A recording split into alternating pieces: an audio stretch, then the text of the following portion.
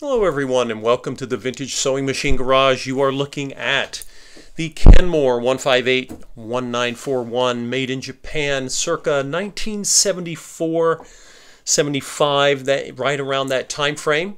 This is one of the most expensive sewing machines you could buy that year and in all the models that Sears carried and they carried a ton this would have been one of their fanciest models. Very costly. It's, it is a free arm machine with a removable deck that costs more to make than a flatbed. Nothing wrong with a flatbed. Um, and this machine has something really amazing. It has um, a modifier. You'll see the little thing over here says modifier. Uh, operating this machine is actually quite simple. There's nothing complex about it, um, but it is all steel, uh, high quality steel mechanicals inside, and because it is removable from this table with just the two uh, the two fancy bolts I've shown before, um, you can take it and you can carry it. it. It is heavier than a plastic machine, obviously, but the body is aluminum, and that was very costly to produce. It would have been cheaper to make it in steel at the time, actually, but this was one of the selling points. If you were going to pay this much money, and most people that bought this machine, the average North American US and Canada, if you bought this machine, you made payments on it. you, you didn't just go in and say, yeah, I'll take a couple of those. It wasn't like that then. It was not like going into a store today and say, well, maybe I'll get this $150 you know, plastic machine. No, no, no, no. Most people had credit accounts at stores. Yes, people had credit cards, uh, but they didn't use them as often for things like this. They would often have, and this was just out of tradition, uh, a lot of people, when they had credit, they had credit at a specific business, right? Today, some of you will, you, you may still have department store credit cards or retail credit cards of some sort uh, when you're not buying online. But back in the day, people often had relationships with retailers, and that was one of them. I have an account there, you know, and I trust them, and they had satisfaction guaranteed. So when you bought something at a reputable department store or a store like Sears or Montgomery Ward, J.C. Penney, they stood behind the product and they stood behind it really well, which means they could not sell junk. They couldn't do it, and they didn't. And that's why these machines were not cheap. So remember, uh, I make the statement that this is the equal to, and if not superior to, Bernina. And there are Bernina lovers out there, and I understand why you love them. A Bernina made in Switzerland, it has a lovely sound. Um, they have a lot of great features, which Sears, because they couldn't sell Bernina, Bernina was sold at independent dealers, and Sears was a giant retailer then. Today, you know, we think of big box retailers, so that's kind of what Sears was, only much better in terms of quality of product and guarantees. Anyway, this machine uh, was Sears' answer to Bernina. So they went to Maruzen, the manufacturer, and said, hey, we want something really special. So what did they do? They looked at the Bernina, which has two belts. Remember, there's a belt on the hand wheel, and then it goes to a reduction pulley, which then connects to the motor, and that allows you to access more of the motor's power. It has, some of the models will have the little groove, the flatbed models have the little groove valley here where the thread can come. That was a clear knockoff of the Bernina. And Sears had Maruzen create the super high shank foot, right? So, because as you know with Berninas, Berninas take Bernina feet, and this uses super high shank feet. If you don't have high, super high shank feet, there are adapters you can get to use any low shank foot, which is kind of cool. Anyway, this, of course, is a free arm machine, and this is a removable um, uh, uh, deck so that you can use the free arm. But let's say you need to reload your bobbin. Oh, you say, well, I don't want to take this off. That's fine. There's just a little hatch door. You open this door here, and there is your bob. Whoops! There's your bobbin case. If you can see that, I may have to change the angle a little bit. There's your bobbin case and your bobbin, and when you pull it right out, and then when you're when you're back, you put the put your little door back, and you put this piece on. And I mean even the deck is made of metal. It's not made of plastic. It's not going to crack on you. Uh, you know God forbid you drop it and it breaks you know these plastic things you drop them they crack or somebody sits on it. You know that's not going to happen with this. Now Um, this machine, and you all have seen me restore enough of these, you know that this is one of my favorite machines in the latter period of what I call the heirloom era. And in 1976, I believe, one of the last Japanese made Kenmores comes off the line, and then production was moved to Taiwan. That was not necessarily uh, a bad thing. In fact, there are plenty of people sewing with those Taiwan made Kenmores. But what you begin to see is the introduction of more and more plastic. It's very subtle at first. And so if you have one of those machines, more power to you because if that thing is still running, you've got you've had a you've got somebody got their money's worth. But I typically uh, tell clients that if they're going to get one of the machines I work on, I want it to be a machine that has heirloom quality. That if you you know just clean the feed dogs and oil the machine, and there's no reason why this cannot last for future generations. I know that sounds like an over the top statement, but my God, this thing is 50 years old close to being a half century old now, and it's barely even been used. In fact, I don't know that the original owner used it much, and I say that because, well, it was it was just bone dry. In fact, it may have sat for 30 years with no one using it, but someone held on to it, and I suspect it was the original purchaser because they knew how ungodly expensive they were.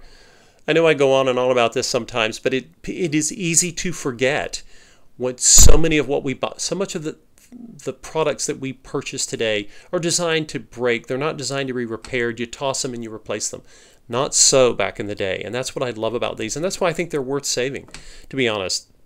It's not just because it's a gorgeous part of history. This is very 70s, right? You have all the 70s colors, but the quality is here. And uh, once you get to the 80s, you start getting to the hybrid machines. Please see my videos on hybrid machines and why you should not throw those away either. But uh, as you know, my heart my heart is with the uh, the all metal machines. So, what do we got here? we have uh, something really interesting.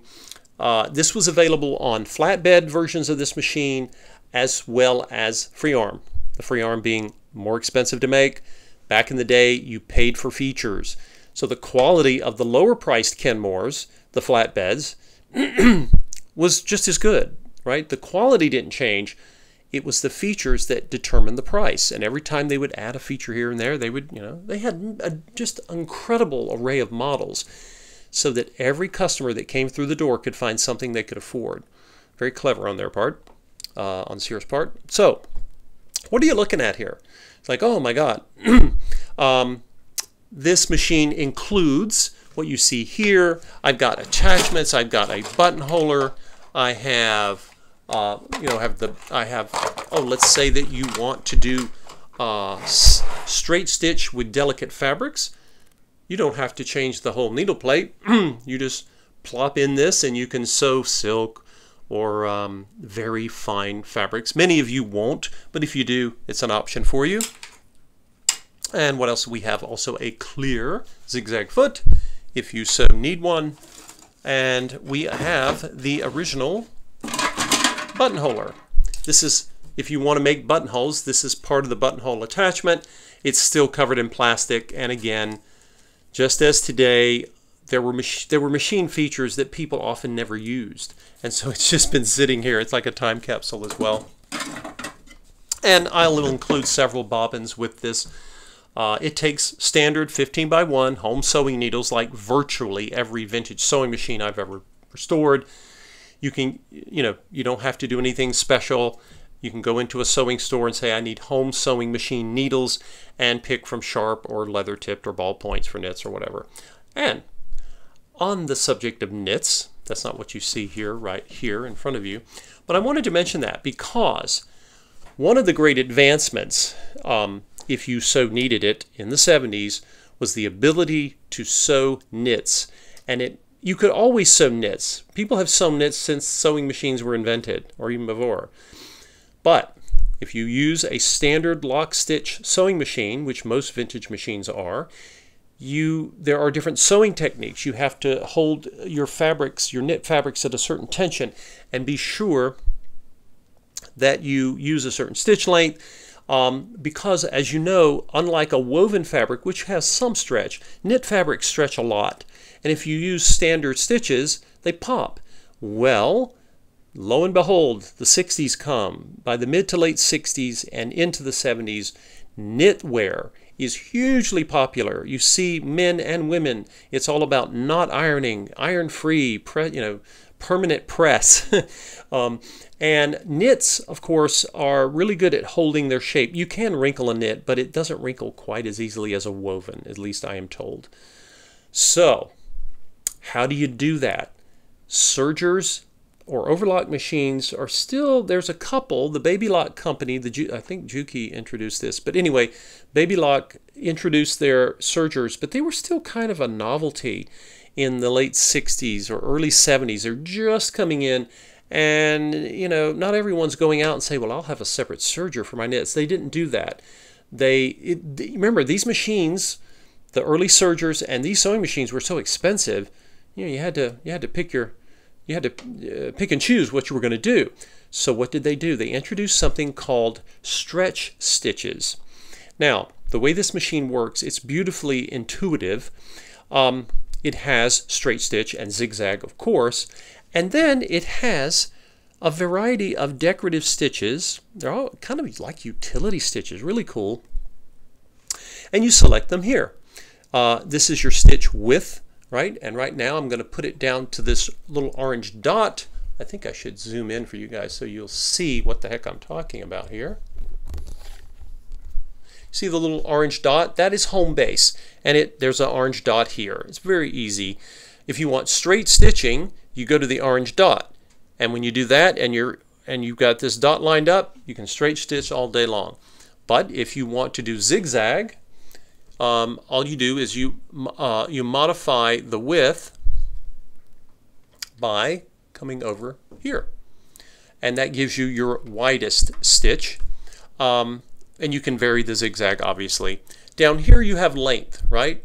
So we're going to use the, um, uh, the longest length right now just to show you. And I'll show you what standard sewing is, and then we'll look at this modifier, and that's where that's what the big marketing thing was back in the day. They wanted people to be able to sew knits, and they were so tempted that they were willing to sometimes trade in their old machine or simply buy a new one. And I suspect that's one of the reasons many of these Kenmores came in carry cases. You don't see them in tables often because people did not want to let go of their other machine and they had they may already had a table for it and like oh god the last thing we need is another sewing. You know they didn't have room in their homes. Homes were smaller then.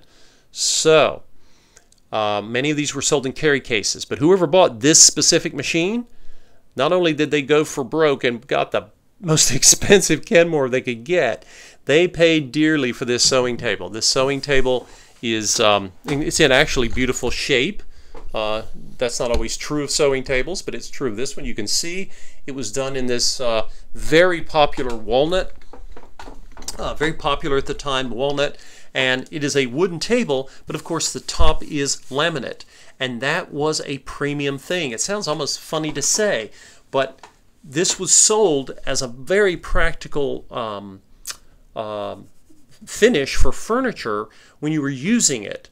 Uh, it was very popular in the 60s and 70s, and people paid a premium for that. I think I've mentioned that before. Why? Because people were used to polishing their furniture, sometimes doing it weekly. and so, and sewing tables or work tables, and you know they could get scratched and whatever. And this is not. This is, in, in fact, you don't have to wax or polish this at all. If you get anything on this, you just wipe it, you know, with a damp towel or something. It's incredibly tough. And you, any of you have laminate on kitchen countertops, you know how tough that stuff is. Well, that was the selling point, right? Uh, I've restored many of the beautiful older sewing tables, and I love them, and the, the veneers are pretty, but you have to be extra. Um, uh, you have to be extra careful with those. This, this thing was, this thing was, this thing was made for work. Okay, so uh, this is the power switch over here on my right.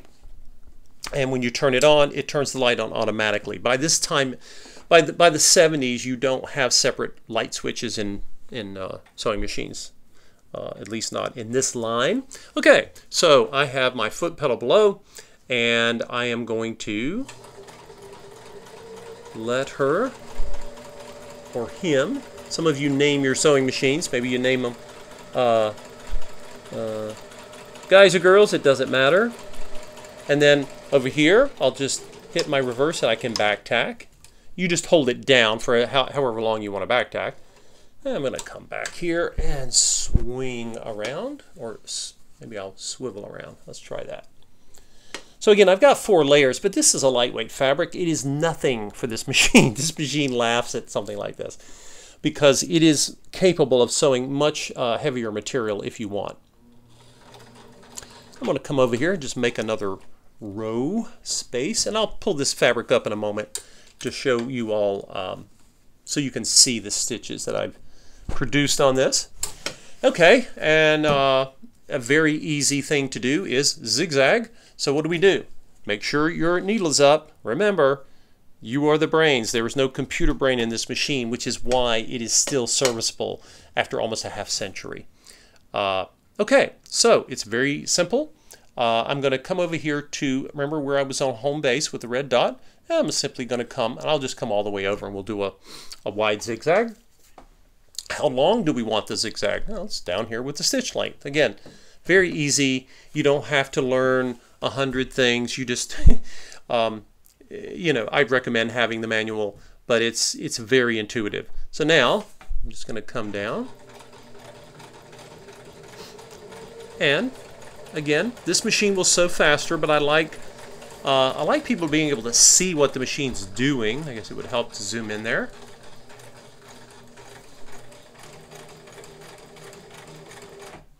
And toward the end, I'll just, again, needles up. Let's narrow the zigzag so we can get down here, and I'll show you something close, a little closer. Oh, got too close. To come back.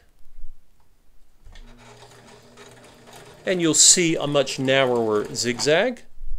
And if I get really close, we can even shorten that narrow zig. You can do all kinds of things with this machine. It just depends on what you need and what your what your what your uh, sewing project is demanding of you.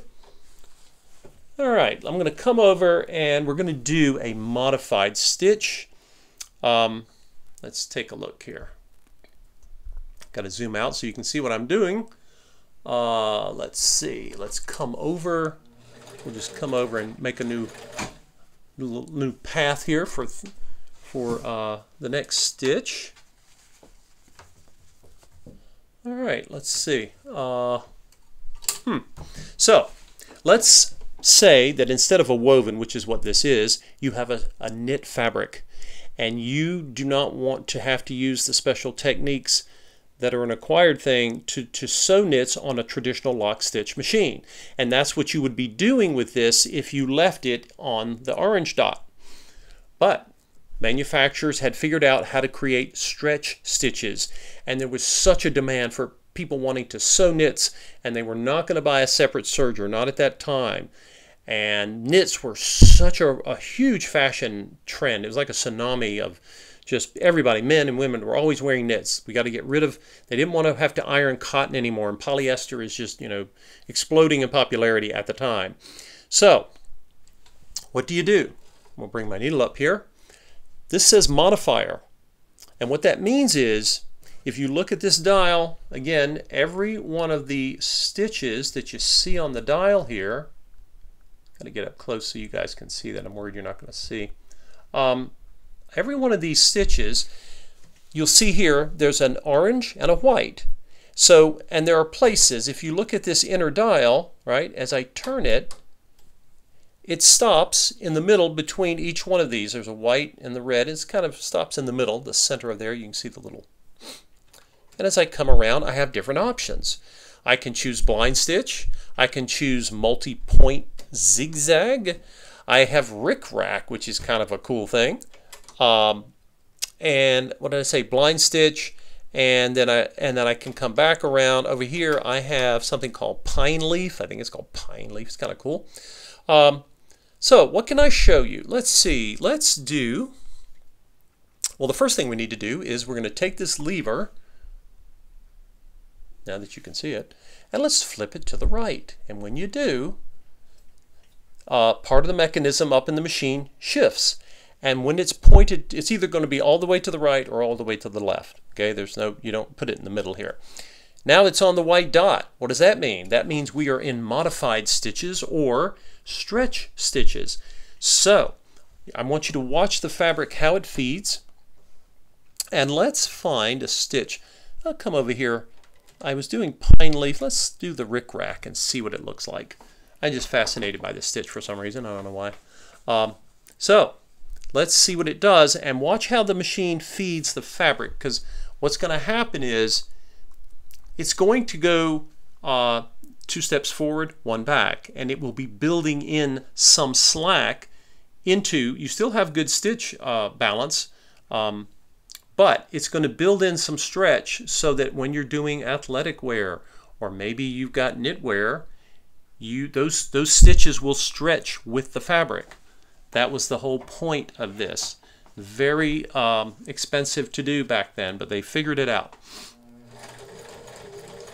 So, this machine is doing rickrack. Now, I just remembered that I have my setting on length and width narrow, and it won't show up very well. It, it's, it's a great stitch, but I want you to be able to see this on the camera. So, we'll get the needle up, and let's go back to our longest length and our widest width, which you still have length and width adjustments here, even though you're in modified stitch. Now, let's give this another go and see, and you'll see it feeding. So it doesn't look like it's doing anything, but it is, okay? And I can speed up, but I want you to see it doing its thing. And notice, it is feeding, but it, notice how it, it moves the fabric forward and then, and then it keeps pulling it back as it feeds backward. Now, modern machines can do this, and you may not even think, well, so what? Well, it was a huge deal in 1974, and it helped Sears sell a lot of sewing machines, along with the other companies, because they were doing the same thing.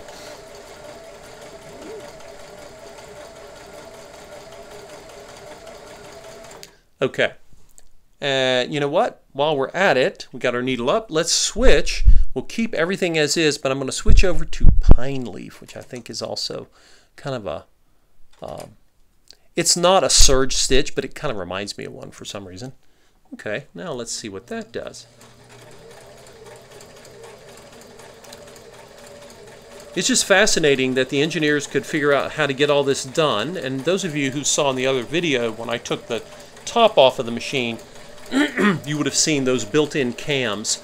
Um, so you don't have to add cams to this machine. The cams are built in and they are steel.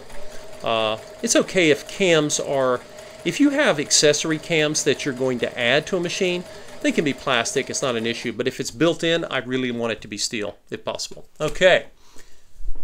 All right. Let's see what this machine has accomplished.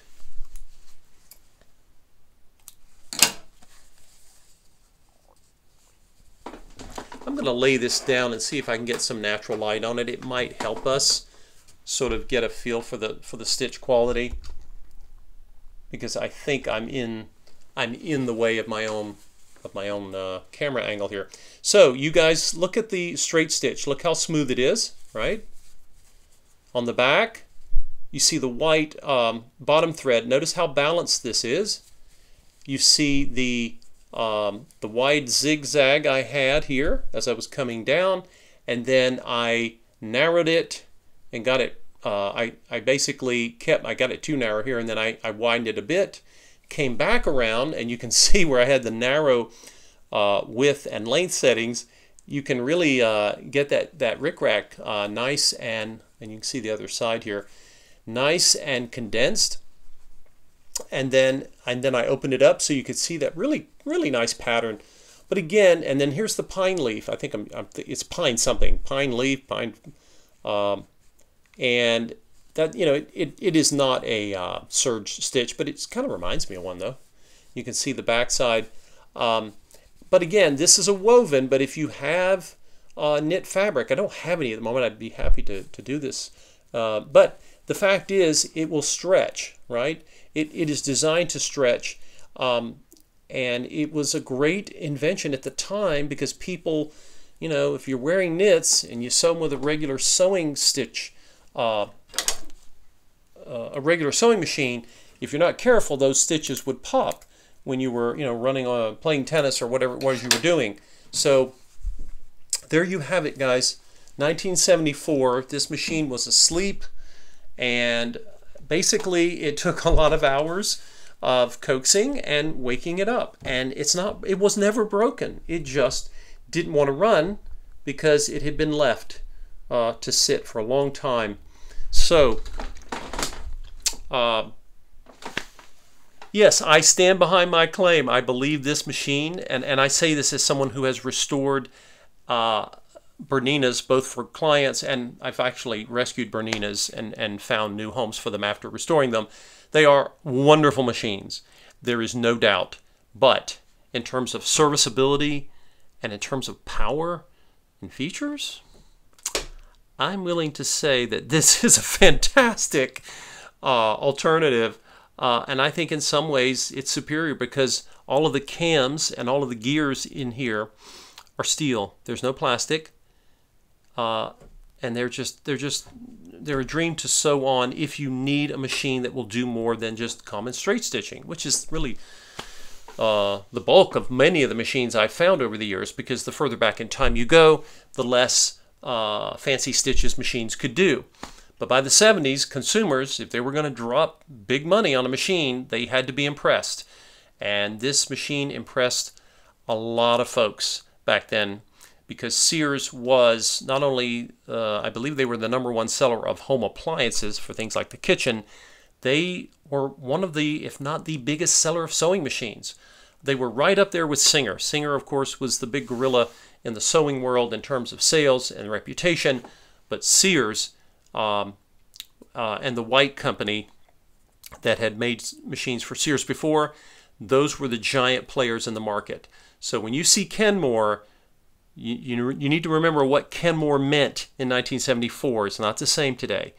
But uh, if you have always wanted a Bernina or a machine that could sew all kinds of multiple stitches, but you didn't want a computerized machine and you don't want to pay a Bernina price, I highly suggest you take a look at these. Any of you who have this machine, please feel free to put your comments down below. And if you have a Bernina and you love it, you're welcome to put your comments there. I'm sure many of you will. Uh, and and I, I understand why you love Berninas, but um, uh, you can get, I believe, the quality of a Bernina at a Kenmore price. So thanks for watching, everyone. Uh, I will post this. Um, this will get posted on Facebook Marketplace and Kijiji, and I will have a listing of all the things I did to wake this machine up.